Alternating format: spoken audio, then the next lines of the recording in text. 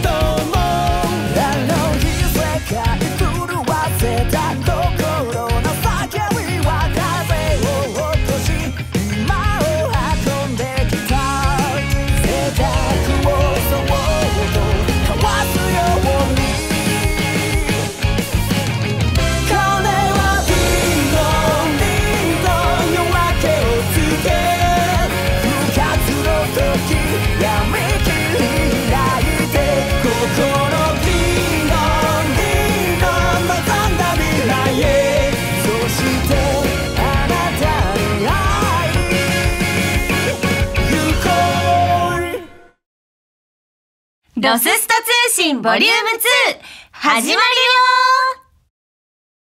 はい、皆さんこんにちは。コードギアス反逆のルルーシュロストストーリーズ女性主人公役の大橋彩香です。この番組は私大橋が司会となりましてコードギアス反逆のルルーシュのキャストをゲストに迎えコードギアス反逆のルルーシュロストストーリーズのゲームの情報などをお届けするトークバラエティ番組です。コードギアス反逆のルルーシュロストストーリーズは PC、スマートフォンで好評配信中ですので遊ばれていない方や今遠のいてしまっている方はこれを機にぜひ遊んでみてください。それでは行きたいと思います。第2回のゲストはこの方です。ミレイ・アッシュフォード役の大原さやかさんです。ガッツ皆さんこんにちはミレイアッシュフォード役の大原さやかです本日はよろしくお願いいたしますよろしくお願いします。あやかちゃん元気。元気です。お久しぶりです。めちゃくちゃ久しぶりだよね。そう。ですね確かに作品的にはちょこちょこ一緒になってるんですなったりすれ違ったりはしてたけどがっつり。ね。お話しするのは。もしかしたらこんなの初めてかもしれないぐらいだあよ確かに。ラジオ形式な、そうですよね。そうそうそうなの。そうだ。めちゃくちゃ今日テンション上がっててまだ嬉しい。結構私も起きたてなんですけど。朝です。ガッツへ。ガッツでいきましょう。ガッツへさやさんといっぱいお話ししていきたいと思います、お願いします。お願いします。ではでは、はい。さやさんまずは、うえー、ミレイのキャラクターを説明していただけますでしょうか？はい、えーミレイ・アッシュフォードというキャラクターはですね反逆のルルーシュの主人公ルルーシュが通うアッシュフォード学園の理事長の孫娘で,、うんうん。で生徒会長も務める人なんですけれども、はい。このゲーム「ロストストーリーズ」の主人公も彩香ちゃんの先輩にはい。当たるんですね。はい。で、まあ、生徒会長あることを、はい。こういろいろ利用しつつというか いいことに割とノリノリで本当はい。いろんなイベントを企画しては、うんうんうん。もう学園中を巻き込んで人騒動を起こしちゃったりもする、うんうんうん。ちょっとお騒がせな部分もあるんですが、はい。でも実はなんかちゃんと締めるとこは締めるしすごく芯のしっかりしてるところもあって、うんうん。みんなからはなんかすごく慕われている素敵なキャラクターなんです。うーん。うん。私も大好きです。あ本当？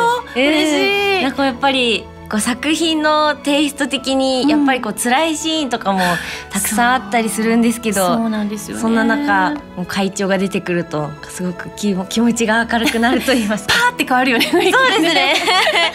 わかります。確かに。でもちゃんとこう悩んだりとかもしますし、そうそう。彼女のお家的にね事情も抱えてたりすもするので、うんなんか彼女があれだけ学園でみんなと弾けるにはそれなりの理由があるっていうのも、こう垣間見えるところがまたちょっとグッとくるというか一瞬ギャップ萌えもするようなところもあるから、うんうん。演じてて楽しいし、うん何より私自身がうんやっぱり彩香ちゃんもご存知の通りあのお姉さん役とか、はい。お母さん役とかあ割とこう年配のお姉さんを演じることが多い中で、いや生徒会長だーっていう なんかそういう自分的なノリもある。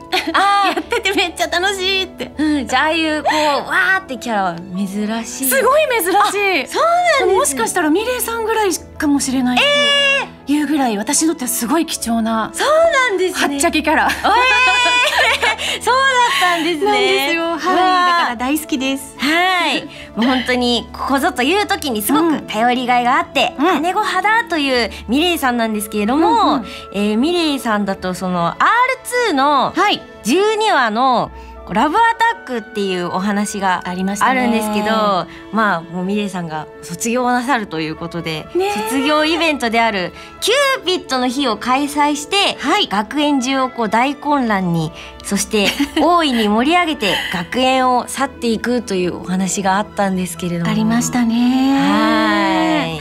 いいやこれは本当に印象的でしたね。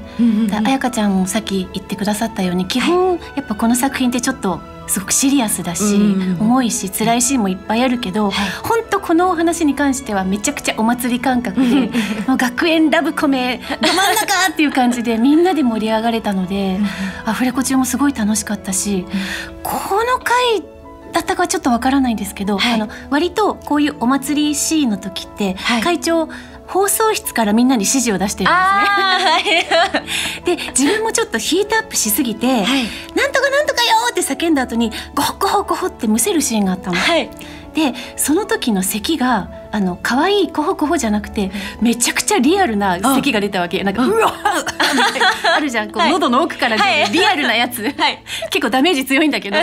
でも本番でそのリアルな咳がめっちゃ出て、はい。で終わった後にその先輩方からも「さあちゃん喉大丈夫?」って言われるぐらいはい。のが出たんだけど「おしいいの出た」って思ってオンエアを見たらめっちゃカットされてて「えいや使ってそこもっと」みたいに思ったのはなんかねちょっと覚えてます。そうだったんですしょうもない。あでもそれぐらいもうエネルギッシュにそう本当にもう全身で演じてくださったはいということで懐かしいです。いやーでも本当にルルーシュが結構振り回されてるね回でございまして、そうこの回のセリフとかもちょっと書いてあるけど読んじゃう？え読んでくださるんですか？言っていいですか？えいいですか？いきます。皆さん今日が最後の生徒会長ミレイ・アッシュフォードです。まもなく私の卒業イベントキューピッドの日を開始します。ああターゲットから最低2メートルは離れていてね。ルールはわかりますね。相手の帽子を奪ってかぶるだけで2人は強制的に恋人同士になります帽子を取る方法は問いませんチームを組んでも道具を使っても OK ではスタートの前に私から一言。うん。3年 B 組ルルーシュ・ランペルージュの帽子を私のところに持ってきた部は部費を10倍にします。それではスタート。おー。ちょっと長かった。ありがとうございます。ありがとうございますいやすごいイベントですね本当に。いいイベントですよね。ねえでもやっぱりこういうイベントをきっかけにそのシャーリーとルルーシュの関係もそうですし、ねえいろいろね動き始めましたよね。そうですね。うんうん。私もぜひ参加したかったです。これからあるかもよ。あもしかしたら。確かに。かも。ということで。でもね後にミレイさんはお天気お姉さんになられた？そう。でそれを経てキャスターになって活躍するっていうね。ねねえ。すごい。ぴったり。えいやありがとう。はい。ありがとうございます、そして続けて、うん。テレビアニメの収録のお話もお聞きしていきたいなとはいはい。思うんですけれども、うんうん。はい。もう収録はだいぶ前ですよね。いつなんだっけ？十十え？六年？6年16年前。16年そんな。前。恐ろしいですね。でもここで収録今私たちが収録してるところでね。そうなんです。この割と広めのねアフレコスタジオでやらせていただいてたんですけど、ここにあの普通だったらこう壁際に椅子が1列っていうのがノーマルだと思うんですけど、はいこう2列3列たまに4列みたいな並べるぐらいやっぱ大人数で多分これキャストの皆さんおっしゃるかと思うんですけど、はい。まあ、とにかく熱い現場でした。暑い。谷口さんの熱さもあり、うん。人が多くて暑い。いもう息ができない酸素薄いみたいな暑さもあり、本当に振り返ると過酷だったけど、でもなんかそれだけすごいみんなうわーってパッション込めてた感じはあったのですごい楽しかった。私もあのアニメを見させていただいてたんですけど、うんもうその熱量がすごく伝わってきて、なんか皆さんが本当に魂を燃やして演じてくださってるのが命削ってる感じがそうそうなんです。みんなあと彩香ちゃんもよくご存知の通り谷口監督ってすごいこだわりの人じゃないですか。はい。そうだからこうワンシーンワンシーンちょっとでも納得いかないなと思ったら、ものすごいリテイクをあされ妥協されないっていうイメージがすごい強くて、がだいたい10時15時のアフレコ時間のキープのに朝。収まらないことも多く。あそうだったんですね。15時半とか16時とかになっちゃう時もあればあ朝もちょっと10時から始めたらちょっと取れないんで9時半集合にしましょうかみたいな、10時 そうそう。私たち10時で結構死ぬって思うじゃない。前はい。そうもうそれぐらいねちょっと暑かったです。こすごい。だわりがねやっぱり。あれだけのキャストの方が集まっていてもそうそれだけかかる。かかりますね。こだわりがある。いいるからこそっていうのもあるし、うん。本当新人の方から大ベテランの方までうん。本当にいろんな方のお芝居うん。を肌で感じられたから、はい。なんか今思うとすごい贅沢だったなって思いますね。うん。みんなで撮れましたしね。ね早く撮りたいね。はい、ね。そうそうですね。本当に。えでもそのミレイさんを演じていてこう、うん。なんて言うんだろう。こう印象的だったことだったりとかあー。あこのシーン大変だったなとかありましたか？そのさっきもちょっと触れたようにやっぱミレイさん基本的に学園でははっちゃけキャラのはい。また会長がなんか言い出したみたいに 思われ思われちゃうようなキャラだけど、はい。反面そのロイドさんとのやり取りだったりとか、うんお家のこととか自分の将来のお話になるとちょっとトーンが変わるというか、うん。カラーも表情も変わっていく、はい、そこのちょっと憂いを帯びた表情っていうのがやっぱりやりながらグッときてたし、あとはあのすごい個人的なお話にはなるんですけど、はい。えっと、ルルーシュを演じる福山潤さんと割とそれまで共演経験がたくさんあって、はい。でもうほぼ99%立ち位置が私が上なんですね。あ 必ず上ー役柄が。そうそう。でルルーシュって意外とその誰に対しても上から目線じゃないですか。はい。だけどこのルルこのコードギアスの中でこうほぼ唯一上から物言って、はい。なんならこう丸めた紙でボンって頭を叩けちゃうのは、ミレイさんぐらいだぞみたいな。確かに。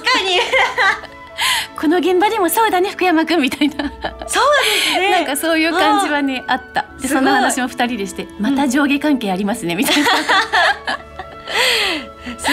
面白いそうそうですねあーはいありがとうございます。いろいろお話を、えー伺わせていただきましすいまた。せんねではそろそろ次のコーナーに移らせていただきたいと思います。はい。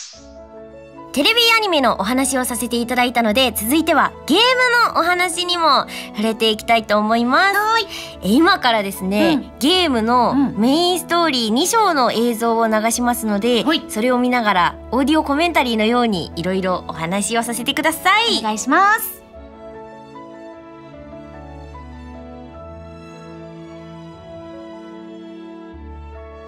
はいということで、えー前回も、うん。あの織笠さんと見させていただいたんですけれども、はい。まあその続きからとなっておりましなてえーテレビアニメの1話と2話と同うん。じタイムラインになっておりますね。か。辛いシーンから始まってるね。あそうそうですね。ね。結構主人公はもう過酷な、えー経験をしてきておりましてすでに。えールルーシュが C2 と出会うことになる新宿ゲットーでの事件、えーブリタニア軍とテロリスト奥義グループとの戦闘を中心に描かれておりまして、うん。その事件に主人公がどう巻き込まれルルーシュとどう関わっていくのかが、まあ、合間に追加されております。なるほど。はい。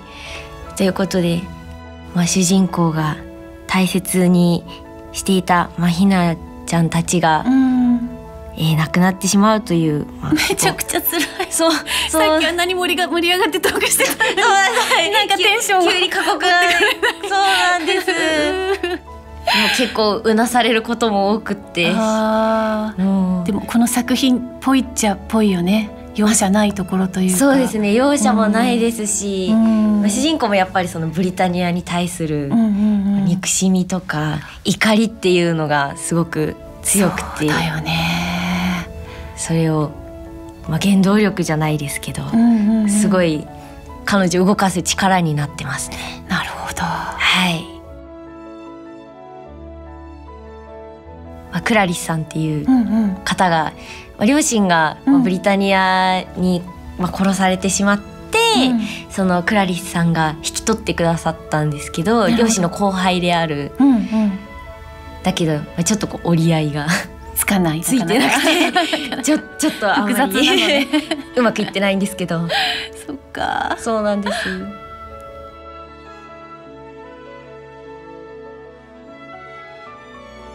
でもやっぱりなんか演じてるとうん。なんて言うんだろうな。なんか今の自分のなんか幸せな環境なんだなっていうのをなんかすごい感じますわね。かる。んうん。当たり前の幸せってね。そうですなね。かなかね、はい。本当は手に入らない。なんか全然このストーリーと違うけど今のさニュースニュースあったじゃないですか、なんかちょいちょいこうあるんですよねガヤとかでも。うん。やらせていただいたことが、難しいんですよねいろいろ言うことが全部。専門用語しかりその国名しかり結構それみんな苦労してた思い出。ああれでもなんかガヤにも原稿があったみたいな。でなんか聞いてえー、そんなことあるんだですよ。でそこがほら谷口さんのこだわりですよね。こだわり。そうそう。すごいガヤすら一文字たりとも。ね。だって基本ガヤってうん。アドリブでねやりますもんね。そうそうそう、うん。だけどもきっちりと専門用語が多いからだよね。そうですね。うんうん。すごい。世界観に合うものをすべて。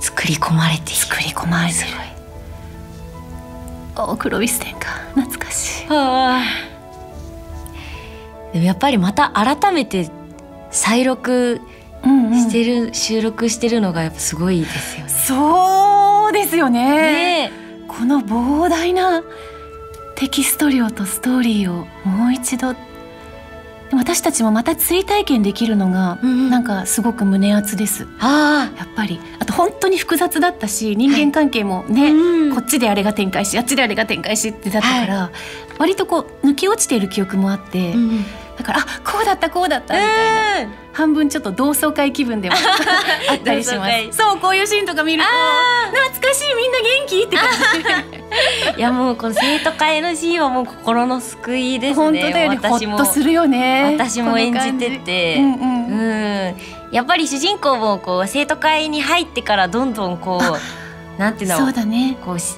笑えるようになったり、うんうん。ちょっとこう冗談を言い合えたりとか、うん。なんかそういう心も芽生えてきているので。必要だよね。やっぱそうですそういう楽しみ出たガッツいやー。なので生徒会に誘ってもらえて嬉しかったです。ありがとうございます。よかった。強引に誘ってしまったけれど。正解ね。嬉しい。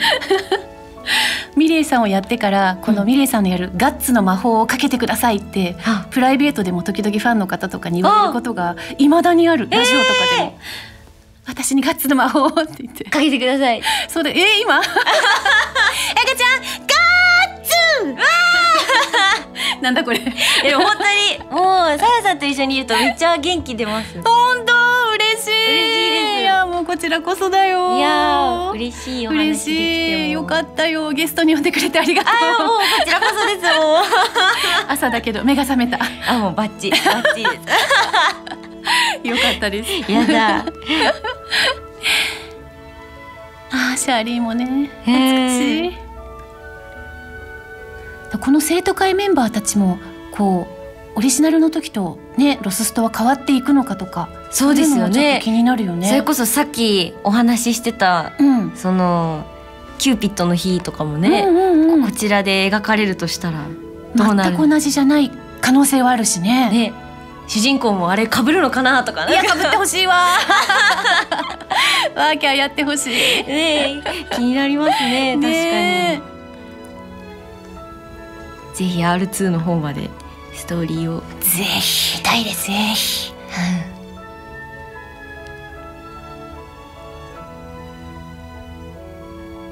ーん。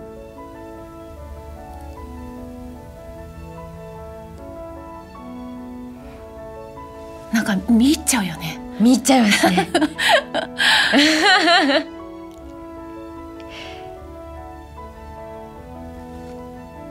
いやー。でもそうですね。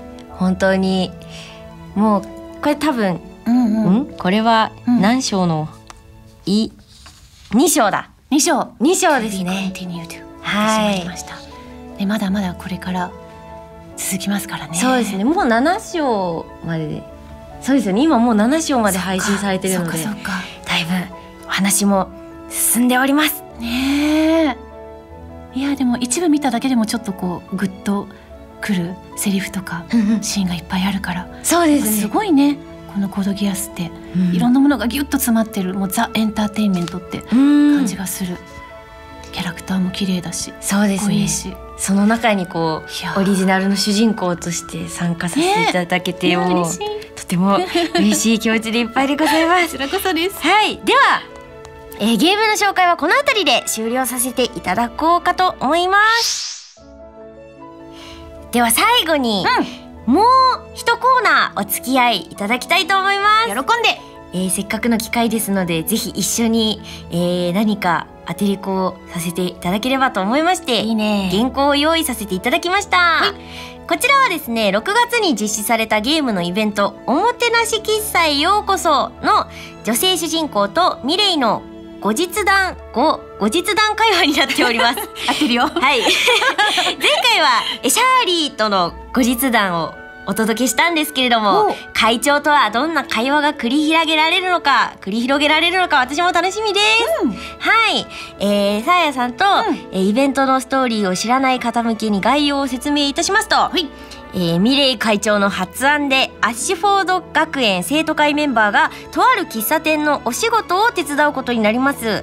手伝いのためにルルーシュは羊服カレンやミレイはメイド服を着て接客をすることに、主人公も男性版は羊服女性版はメイド服を着ることになります。はい。シャーリーは手伝い当日水泳部の活動があったためメイド服は残念ながら着られなかったということでということになっています、うん。はい。ということでここの話の数日後の女性主人公ママーヤちゃんと、えーミレイの後日談会話でございます。はい。はい。では原稿をお持ちいただきまして、はい。えー始めたいと思います。お願いします。よーいアクション。今日はみんな帰っちゃったし生徒会もないのか。どうしようかな。と暇そうなお嬢さんを発見。まあやいいところにいたわ。暇じゃありませんよ。じゃあ何か用事があった？いやないですけど。じゃあこの後の予定とか？いやそれもないですね。じゃあ誰かとの約束？それもありません。そうです。私は暇人です。じゃあ少し頼まれてちょうだい。新しいメイド服の試着。新しいメイド服？そういうのはシャーリーたちの方が。残念。今日はシャーリーもカレンも帰っちゃったから。マーヤしか頼める人がいないの。ええ。お願い。キャロル先輩のお店でね季節に合わせたデザインのメイド服を着てお客さんを迎えようって話が出てて私も先輩に協力したくていくつかデザインを考えてみたってわけ。そのサンプルがさっき生徒会室に届いたのよ。あはあそのモデルを私に？大正解！マーヤのメイド服姿すっごく可愛かったもの。なんか調子のいいこと言ってません？ないない。ほら生徒会室に行くわよ。早く写真を撮ってキャロル先輩に送ってあげなきゃ。はあわかりました。そこまで言われたのなら手伝いますよ。ありがとうマーヤ。ところでですけどそのメイド服のサンプルって何着ぐらいあるんですか？うーんと。50着ぐらい？え？そそんなに？さあどんどん試着していくわよ。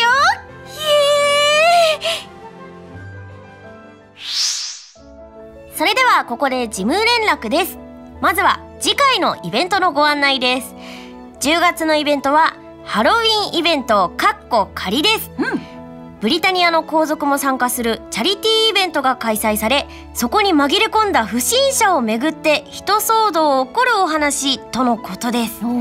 ハロウィンなのでもちろんお約束の仮装もありますよということでどんな素敵な仮装が見られるのか今から楽しみですね、そして、えー、色紙のプレゼントもございます。えー、私とさやさんの色紙。はいサインを書いた色紙を、えープレゼントいたしますので詳しくはツイッター公式ツイッターをご覧いただければなと思います。よろしくお願いします。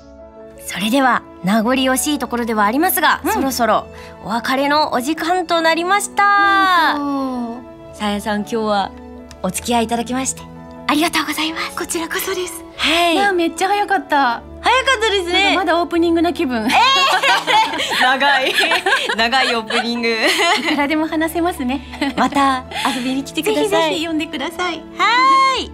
では最後にですね、次回のロススト通信のゲストを発表してお別れとさせていただきます、次回のゲストは東堂京志郎役の高田裕二さんを予定しております。敵。はい。ドキドキしております。はい。はいなんかまた生徒会メンバーが一堂に会してわってする会とかもあると盛り上がるよね。そうですね。文字通り同窓会みたいな、やろうやろう。やりましょう。お願いします。お願いします。それでは皆様最後までご視聴ありがとうございます。この番組は私女性主人公役の大橋彩香とミレイアッシュフォード役の大原さやかでお送りいたしました。またね